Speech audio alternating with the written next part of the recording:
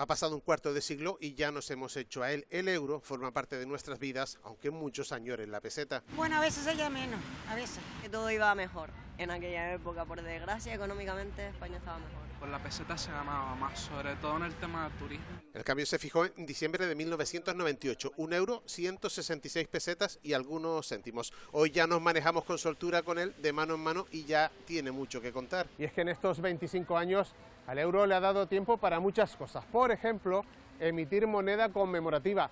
Hay miles de modelos distintos y también hay más de 600 modelos distintos de monedas de 2 euros. Otra cosa que ha podido hacer el euro ha sido cambiar el diseño de sus billetes y también suprimir la emisión de billetes de 500 euros, los famosos Bin Laden, que sí que existían y tenían este color. El uso de euros sigue en aumento. Desde hace un año ya lo manejan en Croacia. En total son 20 países y serán más.